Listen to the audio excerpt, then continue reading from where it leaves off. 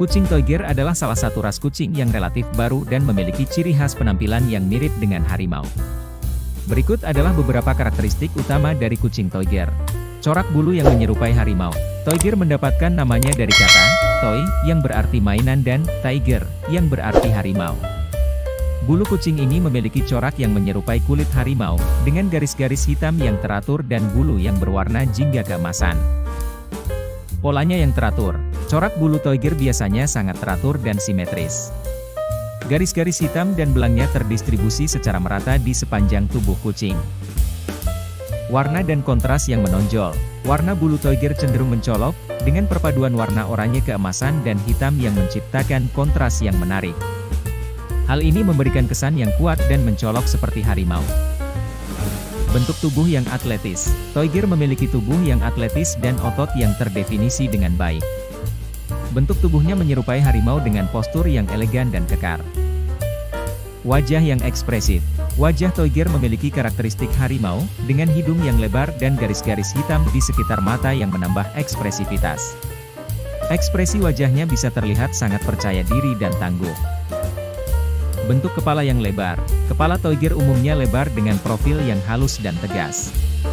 Telinga mereka cenderung berukuran sedang hingga besar. Lingkaran mata yang besar.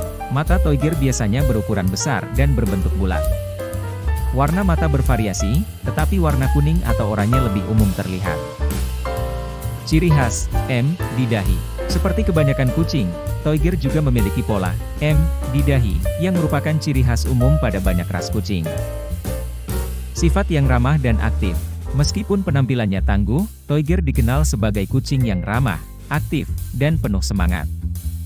Mereka umumnya mudah beradaptasi dengan lingkungan rumah dan menyukai interaksi dengan manusia.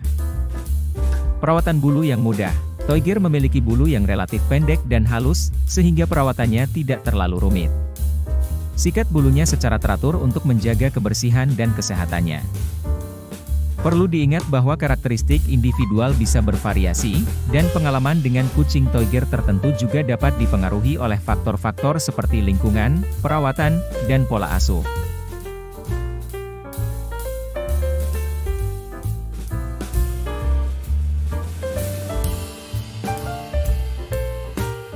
Inteligensia tinggi.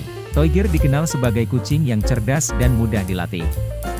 Mereka dapat merespons pelatihan dengan baik, termasuk permainan dan trik-trik sederhana. Interaksi intelektual ini membuat mereka menjadi kucing yang menyenangkan untuk diasuh. Keaktifan dan kecerdasan fisik. Kucing Toiger memiliki energi yang tinggi dan membutuhkan aktivitas fisik dan mental yang cukup. Mainan interaktif dan waktu bermain bersama dapat membantu menjaga kesehatan fisik dan kecerdasan mereka. Kesehatan yang baik. Toiger umumnya dianggap sebagai ras yang sehat. Namun, seperti semua kucing, perlu menjaga kesehatan umumnya dengan memberikan makanan yang seimbang, rutin kunjungan ke dokter hewan, dan memberikan perhatian khusus pada gigi dan bulu. Asal-usul dan sejarah Toiger adalah hasil dari program pemuliaan yang dimulai pada awal 2000-an oleh seorang penangkar bernama Judy Sugden. Tujuan dari pemuliaan ini adalah menciptakan kucing dengan penampilan yang menyerupai harimau bengal, tetapi dengan tambahan pola garis-garis mirip harimau. Kucing pedigree Toiger termasuk dalam kategori kucing pedigree, yang berarti bahwa keturunan mereka dapat dilacak dan mereka memiliki catatan keturunan yang jelas. Pemuliaan yang selektif membantu menjaga kekhasan dan kestabilan karakteristik ras ini. Penting untuk diingat bahwa kepemilikan kucing, termasuk Toiger, memerlukan tanggung jawab yang serius. Merawat kesehatan, menyediakan lingkungan yang aman dan merangsang, serta memberikan cinta dan perhatian adalah aspek-aspek penting dalam memberikan kehidupan yang bahagia bagi kucing Toiger atau kucing mana pun.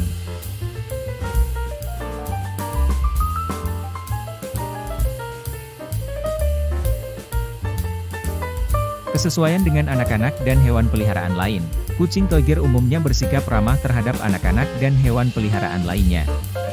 Mereka dapat menjadi anggota keluarga yang baik dan mudah beradaptasi dengan lingkungan rumah yang sibuk. Namun, seperti halnya dengan semua interaksi antara hewan peliharaan, pengawasan dan pembiasaan yang baik, adalah kunci untuk memastikan keamanan dan kenyamanan semua pihak. Ketersediaan dan harga Karena Toyger masih dianggap sebagai ras yang relatif baru, ketersediaannya mungkin terbatas dan harga kucing Toyger dapat bervariasi tergantung pada berbagai faktor, termasuk keturunan, kualitas bulu, dan ketenaran penangkar. Pemilihan penangkar yang terpercaya dan etis sangat penting untuk memastikan kesehatan dan kualitas genetik kucing. Perlindungan lingkungan dan hukum. Sebelum memutuskan untuk memelihara kucing Toyger atau kucing ras lainnya, penting untuk memeriksa hukum dan peraturan setempat yang mungkin berlaku terkait dengan pemeliharaan kucing ras tertentu. Beberapa tempat mungkin memiliki peraturan yang mengatur pemeliharaan kucing ras tertentu atau memerlukan izin khusus. Keanggotaan klub dan organisasi. Para pemilik kucing Toyger atau yang berminat dalam ras ini dapat bergabung dengan klub dan organisasi kucing yang diakui. Ini dapat memberikan akses ke sumber daya, informasi, dan jejaring dengan pemilik kucing Toyger lainnya. Klub kucing juga dapat memberikan dukungan dalam hal perawatan kesehatan dan pemeliharaan yang optimal. Pentingnya kesejahteraan kucing. Terakhir, penting untuk selalu memprioritaskan kesejahteraan dan kesehatan kucing di atas segalanya. Memberikan nutrisi yang baik, perawatan medis yang rutin, dan cinta kasih yang konsisten adalah kunci untuk memberikan kehidupan yang panjang dan bahagia bagi kucing Toyger atau kucing lainnya. Sebagai calon pemilik kucing, selalu lakukan riset mendalam sebelum memutuskan untuk memelihara kucing Toyger atau kucing ras lainnya. Memahami kebutuhan khusus ras, persyaratan perawatan, dan komitmen jangka panjang dapat membantu memastikan bahwa Anda dan kucing kesayangan Anda dapat menjalani kehidupan yang bahagia bersama-sama. Terima kasih sudah menonton video ini, nantikan video-video selanjutnya, semoga bermanfaat.